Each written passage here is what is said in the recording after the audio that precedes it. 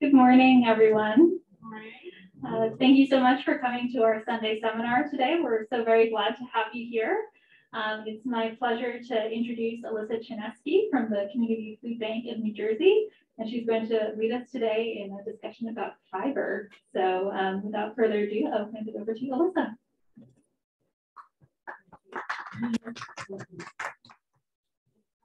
Thanks for having me. As Michelle mentioned, we're going to be talking about fiber, so kind of getting a deeper dive into it because we've mentioned it a couple of times in the previous lessons that we were talking about. So I thought we were a little interested in it, might as well do the lesson on it.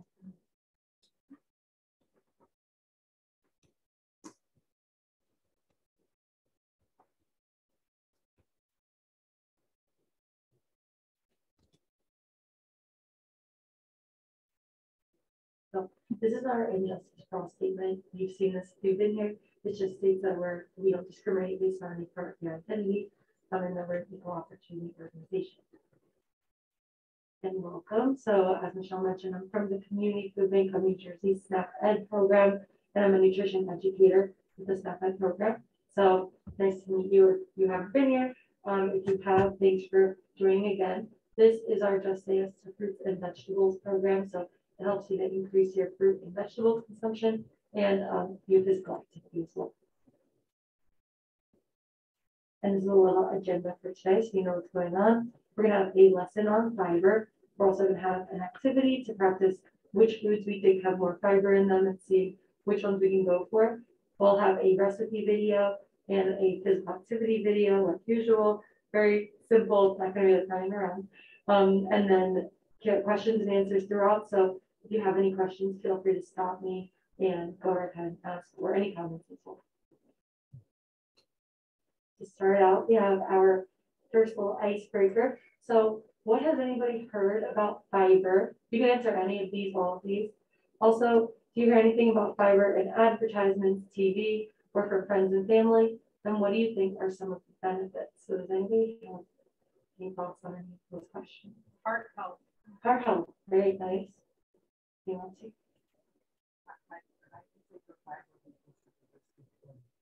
Yes, yeah, it helps with a lot of different chronic diseases, especially. With, uh, elimination. Yes, exactly. Yeah. Good. Else? And have you seen anything like in TV advertisements with the based on fiber? I don't know if anybody's ever seen it. I think mostly we think of like commercials where they're like to get fiber supplements and things like that, right? And yeah, High fiber cereals and breads. yeah, things like that, right? Mhm, Like fiber one and things that are, you know, labeled to have extra fiber in them, right? So we'll see kind of like why there are products made for that and why people make a big deal about fiber, but also why it's so good for you and why we want to kind of add more to our diet. Um, so let's look at the next. So some benefits of fiber?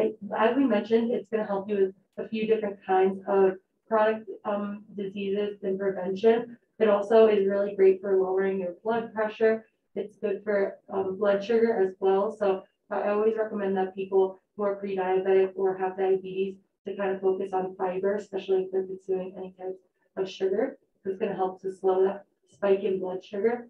And then also cholesterol is going to help control cholesterol as well.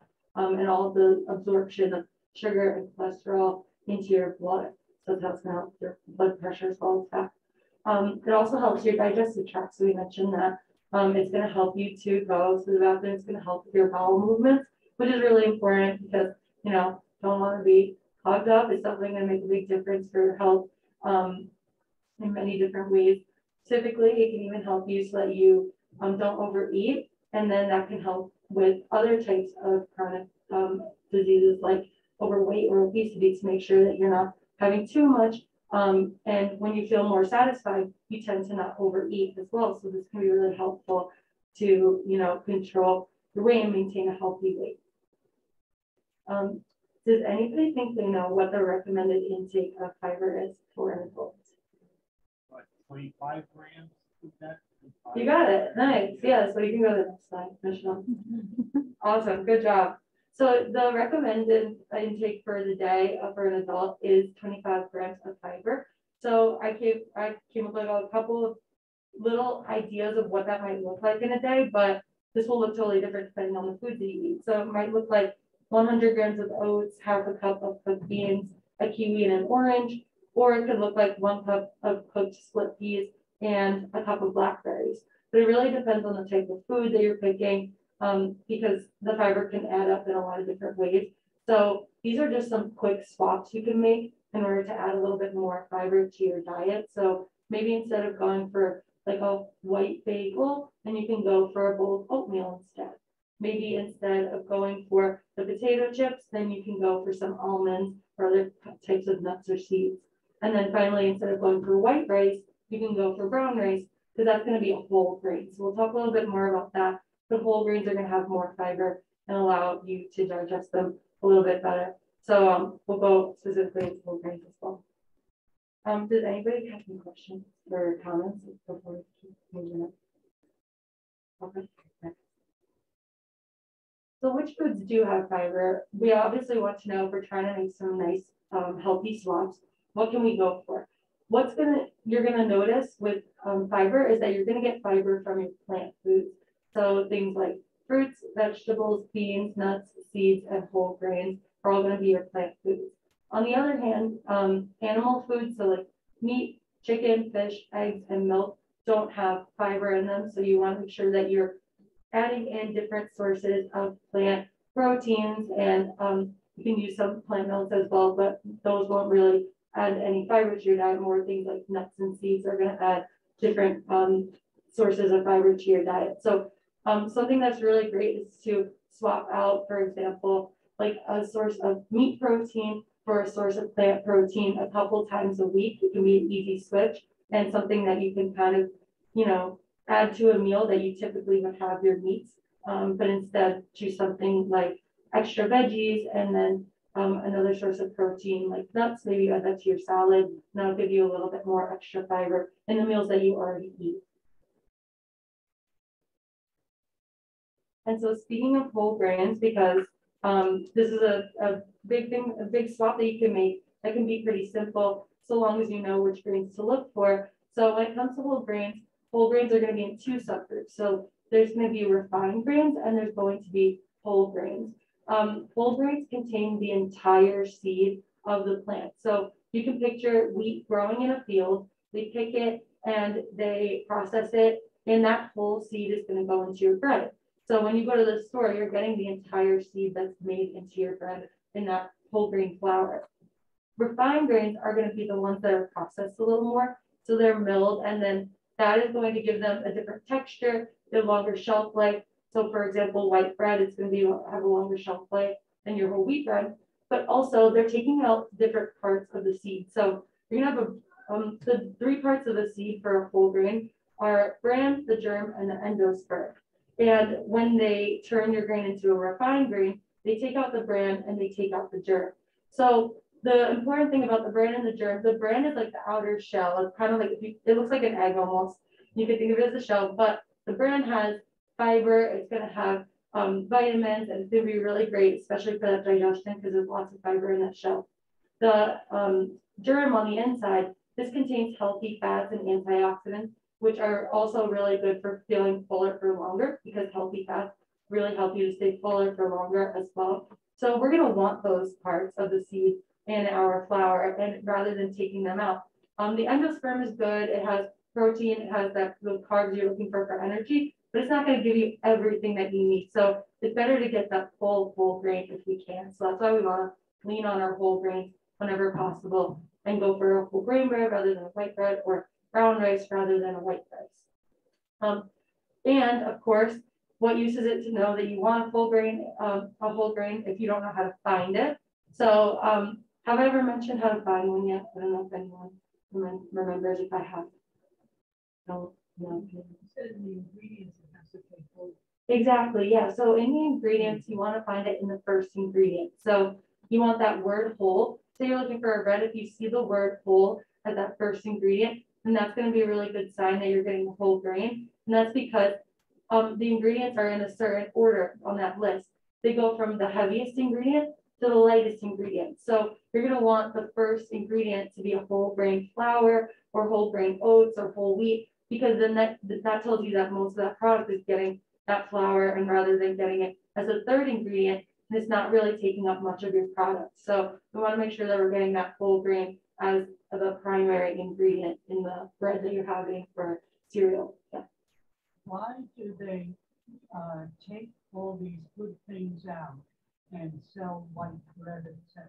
Well, yeah, that's typically because when you take that out, it's gonna do a different texture, maybe it's for the color, maybe it's for the shelf life. And, you know, people don't recognize that that's what you're taking out, and it's easier for the company, especially with the shelf life that's longer. Then they don't have to keep restocking as soon, probably saving some money on it. Um, and then also when people start to like the product, they keep buying it, you know, but, um, it's definitely better to go for the other kinds you can, because um, they typically don't taste that much different, you know? I don't think it's worth, worth losing all the, the good things, yeah, right? But yeah, typically it's because of the, the companies, you know, trying to create a certain product for you. The second, And I guess also they sell the brand separately and make more money, is that it? um, I've actually never looked into that. I'm not sure which companies would do that, so I'm not sure that's one thing to me. I don't know, that's a good question. Yeah. Any other questions?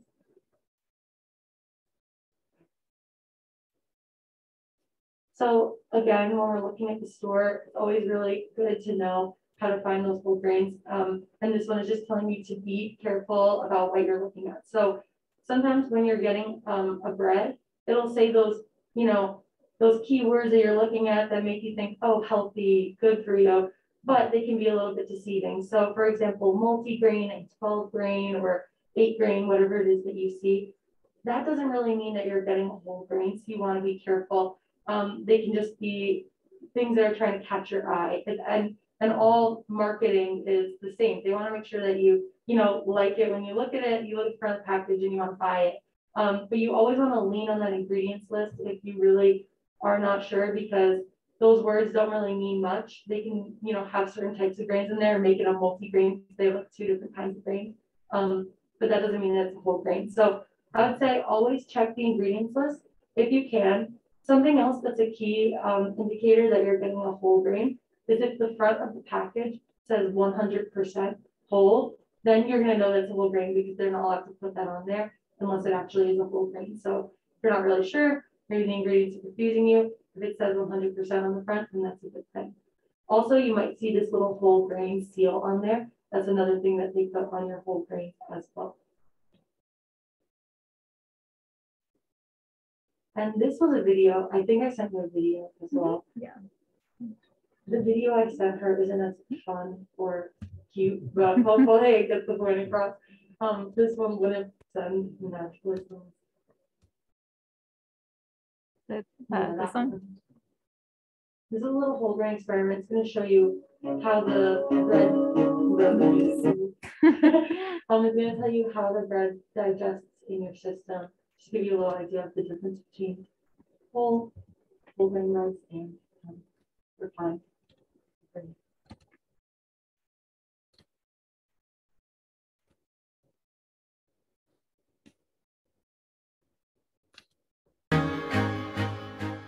Hi, my name is Debbie, and today we're going to talk about the glycemic index. And I'm not just going to talk about what the definition is, it's a buzzword that has been around for a while now. I'm going to show you a little experiment with some white, highly processed bread and some whole grain, hearty, whole wheat bread, and how these two actually affect your blood sugar and when you eat them, what happens in your body. So let's start with the white bread. I just have a container here of a little bit of water and I'm just going to put the white bread in on one side and then I'm going to flip it over Water represents like your stomach acid. and then I'm gonna, just going to try and pick it up. And what happens is it's just totally falling apart. and it just becomes almost gluish. And this is what happens in your stomach. When you eat highly processed foods, they become mush like this and they get into your bloodstream very quickly. So that means that white bread has a very high glycemic index because it gets into the bloodstream very quickly. So now I'm just going to dump that out, put a little bit more water in for the next piece. And we're going to do the same thing with that. So here's our piece of whole grain, whole wheat bread. Same thing, I'm just going to set it in there and I'll even leave it in there a little bit longer. Turn it over.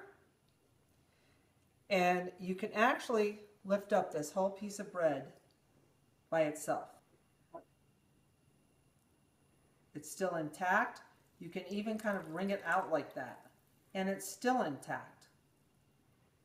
So this is why when you're eating something low glycemic, it stays in your body longer, it takes longer to process, so it doesn't spike your blood sugar as quick as the high glycemic white bread. So after watching this video, I hope you understand a little bit more So how hopefully that gives you different types of foods affects our body. The bird's actually going through your system and really how the fiber is working, because that's what's keeping it together and that's what's keeping the whole grains intact. Um, and that way your body's breaking down those grains slower and using the energy over a longer period of time.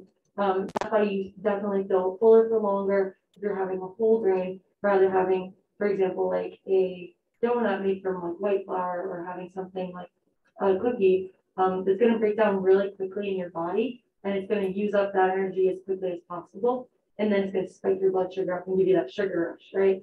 Um, so that's where we're getting that fiber in and you can use it for a longer period of time and feel full for longer. Any questions about that? Makes sense? Yeah.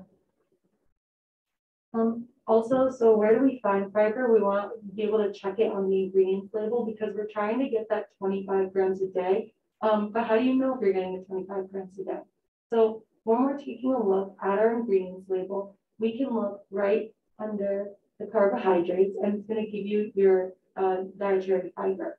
When we're looking at that dietary fiber, um, you can look at the grams, so that'll tell you in a serving how many grams you're getting of that, of that, um, twenty-five recommended. You can also take a look at the percent daily value. So if you were here last time, we talked about that a little bit, but this just tells you what amount of the recommendation are you getting from this food. So for this one specifically, you're getting fourteen percent, which is pretty good. You're getting a good amount of your fiber for the day. Um, if you are getting twenty percent or higher of any type of ingredient or any type of, um, part of the, um, nutrition facts label, that's gonna mean you're getting high amount of it. So say you're getting twenty-two percent of your fiber for the day, that's gonna be a, a food that's high in fiber. If you're getting five percent or lower, that's gonna be kind of low in fiber in comparison to other foods. So if you are really trying to up your um fiber intake, you can look for those foods that are around twenty percent to try to get a little bit more. And maybe trade out a food that has, for example, like two percent for one that has a little bit more percentage on that label. And then you'll know that you're gonna be getting a little bit more. And this is something you can also use, for example, with other things that you're trying to limit. So if you're trying to limit your sugars, trying to limit your fats or anything that, you know, you're specifically looking at for your health, you can look at that percent daily value and go by that five percent or lower is low, twenty percent or higher is high. So we can help you with some other things as well. Now we have our little activity to practice. Um, what's gonna happen is there's gonna be five different foods that you might commonly see. And, um, we're actually going to rank them. So you're gonna see which one do you think has the lowest in fiber and go in order. And, um, there's gonna be two options. So you can try to do it without the options and then you can do it with the options if you'd like to, but, um, it's not super hard. So, once you can click the button. So we have these five foods and you want to put them in order from least amount of fiber to most amount of fiber. And um, you could take a moment and just think about it first, and then if anybody wants to give a guess, we could, but then there's also options as well, so. If you're not sure, it's okay. Give a guess, Most Probably black beans. okay. That's a guess. Yeah. Yeah, that- it's Now fiber. Probably over there, probably. was- The gummies, Right, the gummies. the gummies, right, another good guess. Anybody else want to guess any others? This would probably be just after black beans and. Good, yeah. The other two, the Froot Loops and the mac and cheese, they can be a little like, hmm, which one would it be? You know, um, we do have some options, I think it'll give it away, so there's option A, which is the next slide. That would be the order of option A. It's a little bit obvious. So it's from least to most, and then this option B would be this one, so what do we think, is it A or B? The B, yes, okay, perfect, so we're gonna go through each of these.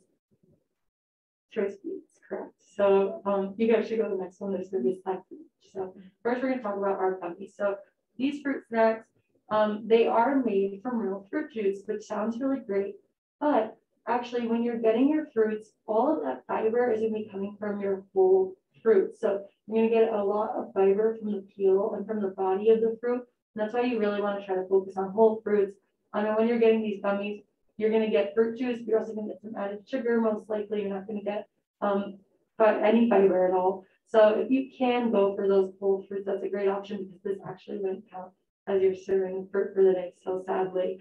Um, but going for those whole fruits and vegetables is gonna be a really great idea to make sure that you get lots of fiber.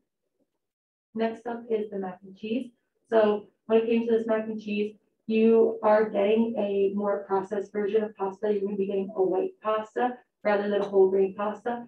Um, I believe they do make the whole grain version, so maybe if you are getting the mac and cheese and you wanna make it a little bit, you know, higher fiber option, you can go for the whole grain version. Or even better, I would say, try to make it at home and, um, you know, do a whole grain pasta and maybe add your own cheese so that you can, you know, have more control the more that you make things at home, you have more control over the food that you're having. And you can always have more control over your health as well. So you can limit those processed foods and then go for your own version and even adding some veggies would be a great idea to add even more fiber and color to your food.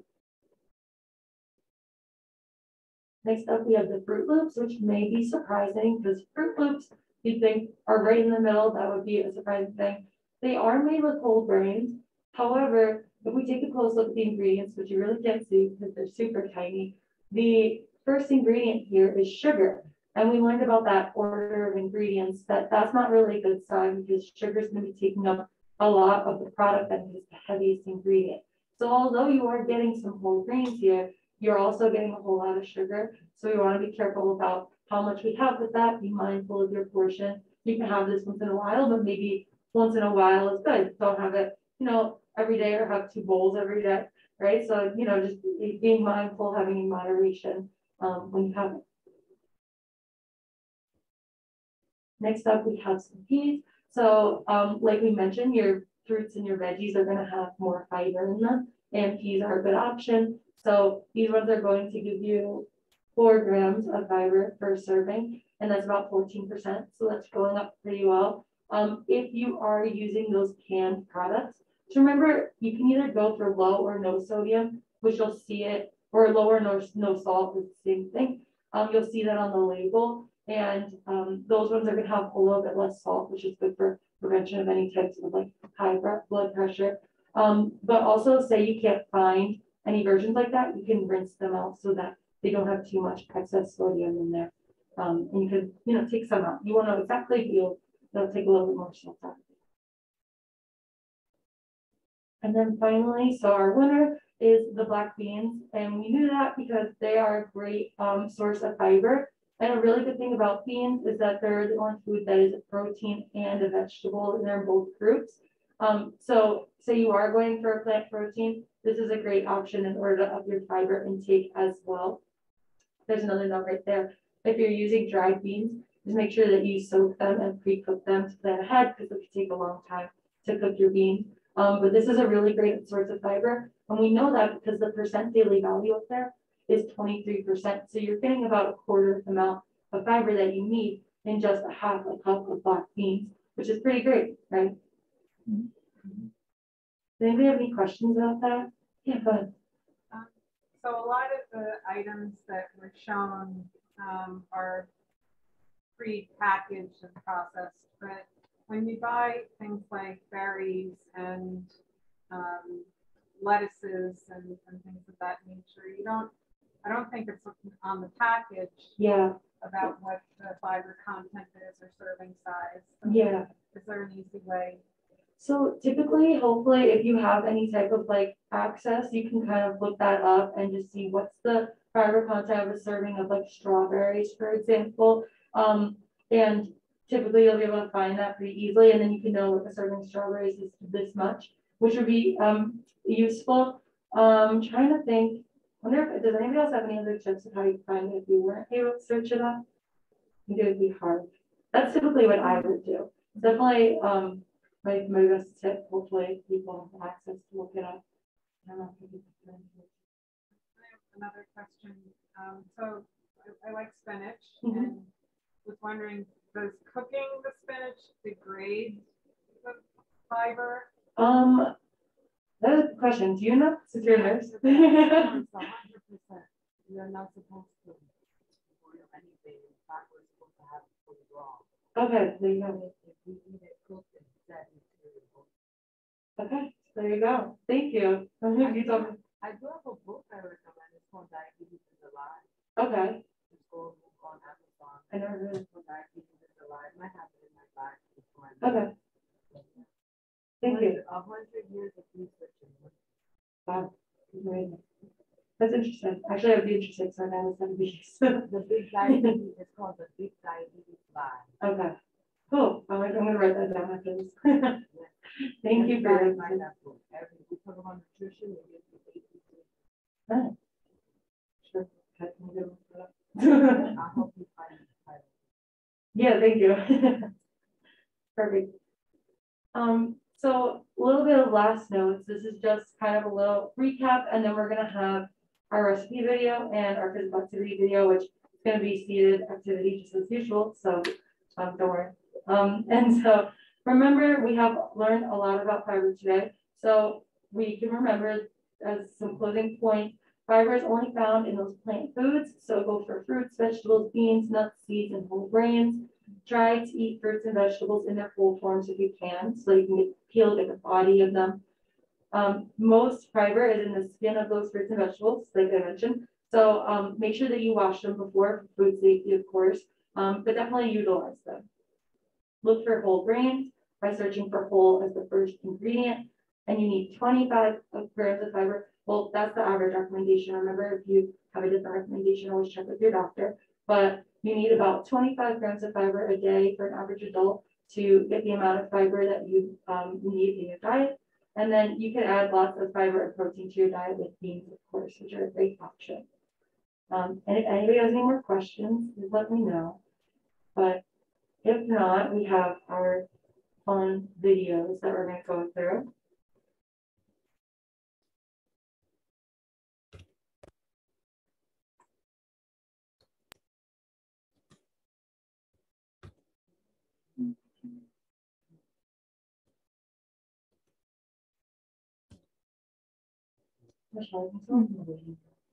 Oh, okay. Yeah, let me let them in.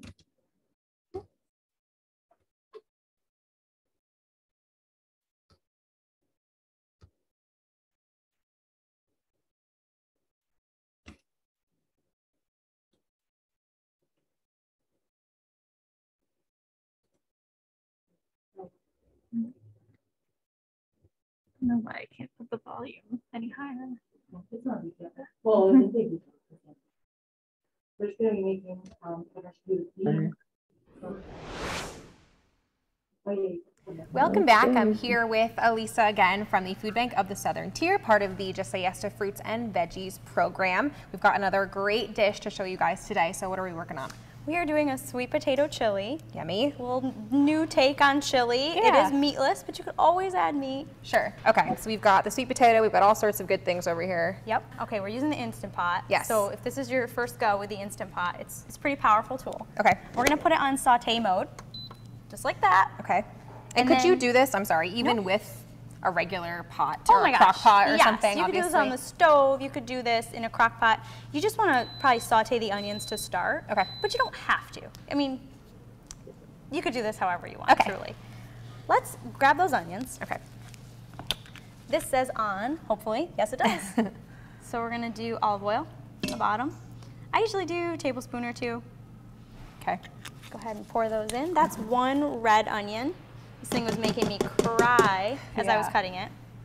I'm also going to add garlic to this. Okay. Let's do like a teaspoon. That's what I'm thinking. But for reference, if you cheat and you get the chopped garlic, half a teaspoon is a clove. So I'm using two cloves. so the next step is let's add those peppers. This is two small bell peppers. You could use one large one. You could mm-hmm. use green, yellow. Yes, I always like to mix it up. If I do chili, because you get a little bit of, Oh yeah, you know, the sweet from the orange or the yellow, and then all about the color. yeah, as we uh, add each one, pop a color in each, so that tells you a lot of nutrition. Um, the sweet potato is full of vitamin A and vitamin C, and then you get your protein from the beans. right, absolutely. Next, let's add those sweet potatoes. This is two, I would say medium-sized sweet potatoes. Now we are going to do spices. Okay. Cumin. I'm going to have you measure two teaspoons. There's your teaspoon. There's like one. Mm-hmm. Two. you go. Nice. Mm, and chili powder is the next one. Okay. This is a tablespoon and a half. I'm going to keep stirring this so we don't get anything burned on the bottom. And spices with chili, I feel like you can throw so many other spices in here too. Oh I'm yeah. Sure. You could do paprika in here. How about you salt and pepper this? Okay. Nice. Okay, mm. looks good. And those tomatoes over there. So a can. This is a 28 ounce can. Yes, of the Uh, crushed, right? Crushed. you were saying. You could use crushed or diced. Okay. This is just what I had. Okay. Nice. The last thing we add is the kidney beans. Okay. Because they're already soft, we Mm-hmm. don't want to overcook them since they are already cooked. These are canned, and it's a I full can. I was going to ask you how you. I Yeah. normally use canned. All right. The last thing is add just a little bit of water or vegetable stock. Okay. My kind of rule of thumb is I just add it so that the line of liquid is almost to the top. Okay. The last part is we switch this thing to slow cook. Okay. You can put on high or low. I put on high for maybe an hour or two. Okay. Once everything is soft, it's done. Great. So once those sweet potatoes, you can poke them. It's good. If you were to cook this on the stove, it would be faster. Mm-hmm. Um, Great. hear that little sound? Yeah. It's a good sound. it means you put the top on right.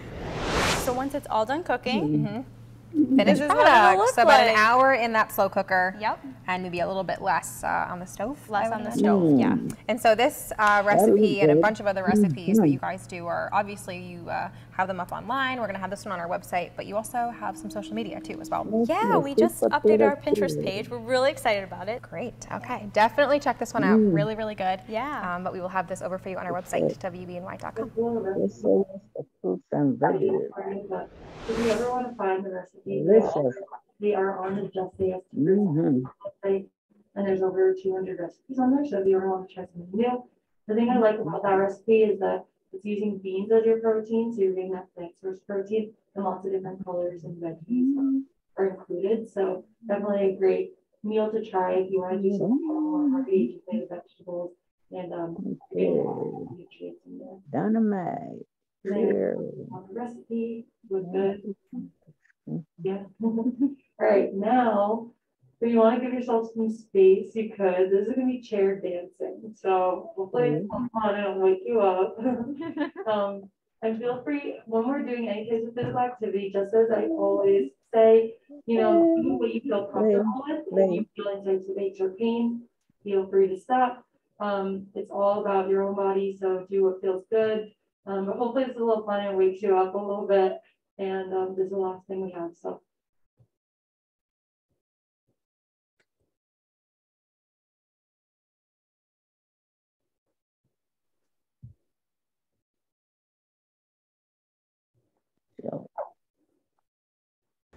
So, right.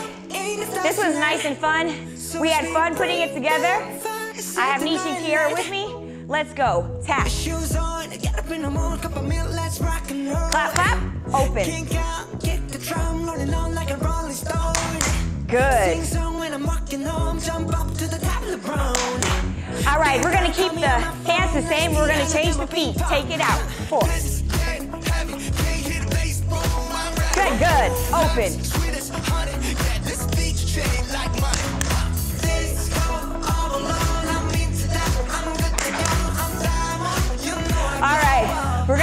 Change here. Rock. Good. Up, then down. Rock. Up, down. Shine. Good, nice and smooth. Rock it out. And up. We're gonna start from the top.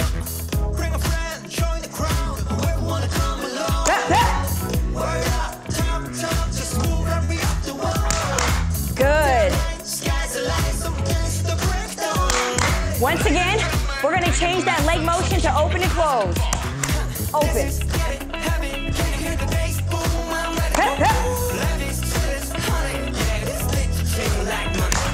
Good, nice and strong.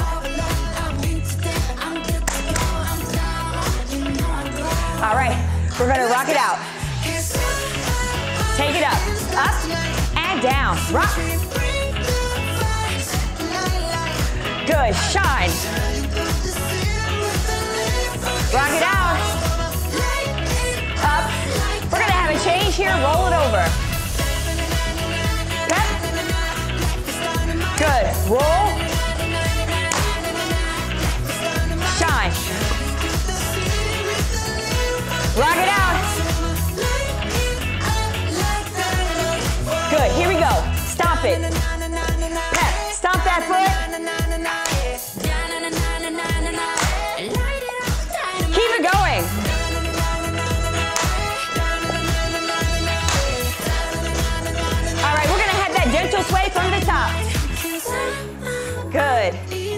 Nice and easy.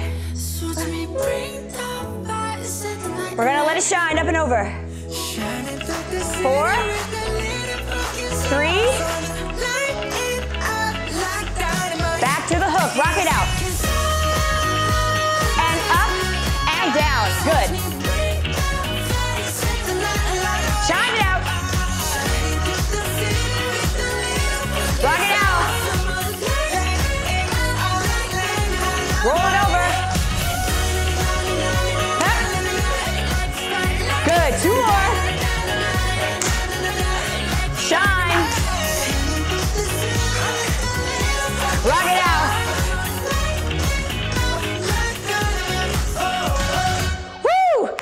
Awesome. Hey, I am so excited to announce that Chair One Fitness is finally offering on-demand workouts just for you. We have a variety of music and I I didn't expect you were gonna do that today. I love doing chair stuff. I feel like um, you could do it anytime, you know, just throw it in your day. You're sitting all the time, make yourself moving a little bit. Um, it can be easy, something fun like that. Dancing is my favorite exercise, so I wanted to do that. Um, but definitely, you know, adding a little bit of physical activity every day, it adds up. So um, the recommendation for adults is about 30 minutes five times a week. And that was four minutes right there. And say you do something little every bit throughout the day. Maybe you walk instead of, you know, taking the the bus or something, or maybe you park a little bit further from the grocery store or clean the house for 20 minutes. It's all gonna add up. So this is a fun little way to do that. But um anything you do that's movement is going to count. So um this is one example. Otherwise, that's actually all I have for you today. So thank you. Thank you so much for joining. And if you do have any more questions, please let me know. Um, and that link to the video, I'm gonna resend to, I know Michelle has it, we can send it out. So if anyone wants to do it again, um, you can do it at home.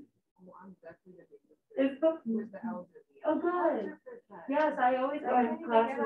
The chair, so I can be like, okay. Yes, I, I do chair yoga sometimes, chair dancing. It's a lot of fun. I've done chair ads with people, so a lot of them. Definitely take a look. There's a lot of fun. so it's a great time. yeah, thank you so much for all joining and for being great. What else to be active? Very good. Yeah, thank you uh, again to Alyssa for the seminar. We really appreciate um, everything she's taught us over the past three sessions. Uh, we're very lucky uh, to have had you.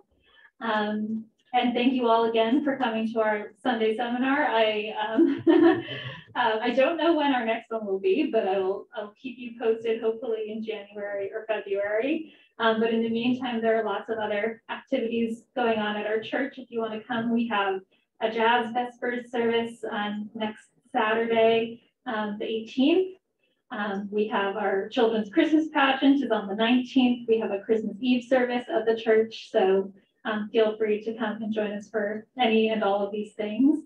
And finally, on your way out, you'll see there's a table full of water bottles. Please, please take one. We have so many. um, help to keep uh, your water intake uh, high, high throughout the day. Um, so thank you again and hope you all have a wonderful week.